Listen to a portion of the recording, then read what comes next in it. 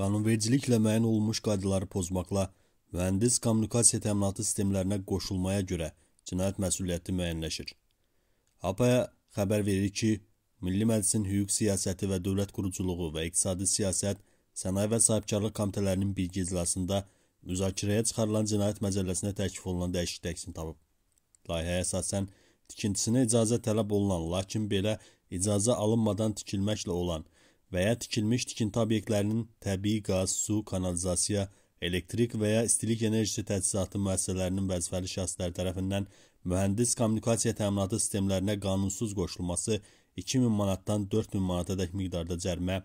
və ya 3 ilədək müddətdə müəyyən vəzifə tutma və ya müəyyən fəaliyyətlə məşğul olma hüququndan məhrum edilməklə ya edilməməklə 3 ilədək müddətdə azadlığın məhdudlaşdırılması və ya 2 ilədək müddətdə azadlıqdan məhrum etməklə cəzalandırılacaq.